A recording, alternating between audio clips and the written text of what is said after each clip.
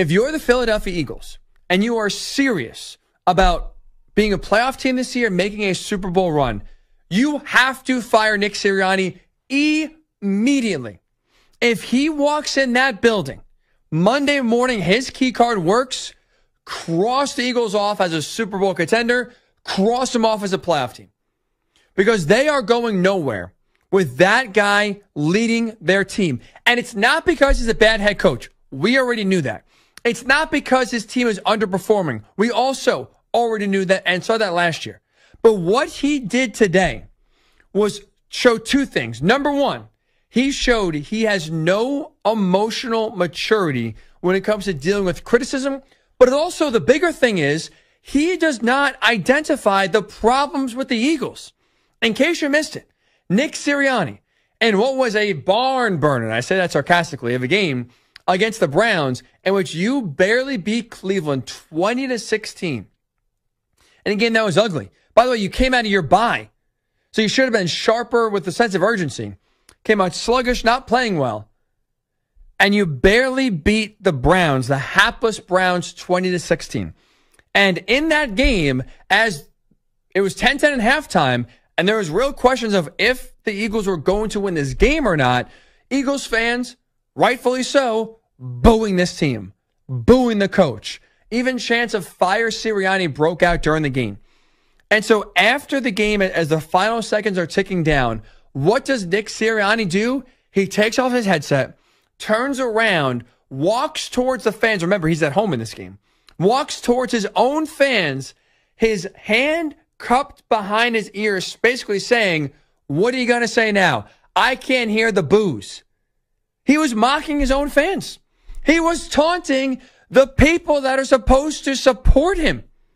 And why that's a big deal, why that is a fireable offense is number one, if you are a serious organization, which the Eagles are, you cannot have your head coach acting like a complete jackass to your own fan base. That is how you lose them. He's already lost them to begin with, but that's how you don't get them back. You want to strut around, peacock around because you beat a one in five team by four points at home and you think you're the man and that you think Eagles fans are stupid for booing you and saying to fire you? Number one, that's not how you act whatsoever. And that's not a guy I would want in charge of my team. If you're a serious team, that is not the guy you have representing you whatsoever. But number two, the bigger concern is this guy doesn't know what's wrong with the Eagles. Like if he's reacting that way, he clearly does not understand why fans are booing, why fans want him fired. And him not understanding why they're upset is important because that means he can't find the roots of why this team is not playing up to their potential. That's where the frustration comes from. This Eagles team is one of the most talented rosters currently constructed in the NFL. They have talent everywhere. Yet offensively, your 2022 MVP caliber quarterback continues to look lost at times. You got your two best receivers back after they missed time. I mean, for AJ Brown making his season debut, and boy, did you need him today to win this game. But your two best receivers are back. Saquon Barkley is back. Dallas Goedert is, is back for a little bit. And that results in 20 points, results in a close game. This offense is not playing up to what they should whatsoever. And this guy just clearly, he clearly does not know what's wrong with the team because this team in 2024 looks exactly like we saw them in 2023 at the tail end when they just collapsed. And instead of looking in the mirror, instead of figuring out what went wrong, Sirianni is essentially, despite hiring two new coordinators, rolled it back. And nothing has changed. So clearly in the offseason, the soul searching that needed to go on did not happen because the same problems that plagued the Eagles last year are plaguing them again this year. And so now you're upset with the fans that are booing you, but you clearly don't understand why they're booing because if you did, you would accept like a man and say, you know what? We won this game, but the fans are right. They're booing because we're bad. We're not living up to their expectation and they have every right to be upset. And I as a head coach, have to find a way to fix it. And instead, he walked around like a complete fool, mocking them, saying, I can't hear you. Like, a, like he looked like honestly an idiot. He looked like a total idiot that has no control or no self awareness. But he actually, I take that the self awareness part back because I think he does have a self awareness. Because after the game, of course, this was visible in front of everybody. Fox cameras picked it up. So Philly beat writers saw this pretty quickly. So they knew going into the press conference, oh, we're going to ask about this for sure. And Sirianni definitely knew they were going to ask him about it because what did he do in the press conference? He brought his kids. He brought his three young children with him to the podium that sat on his lap and sat next to him. Why did he do that? He did it because he was too coward to face the noise. He hoped by bringing his kids that would soften the questions. And to the Philly media's credit, they did not care. They asked him what the hell was going on between you and the fans at the end of the game. And well, here is Nick Sirianni's explanation of, of what he was doing. No, just excited. Uh, just excited to get the win. Just excited to get the win. Yeah. It's hard to win in this league, so we're excited to get the win. Uh, our fans uh, created a couple uh, um, false starts that really helped us win this football game. Um, but just excited to get the win and uh, appreciate appreciate the uh, the Linc support.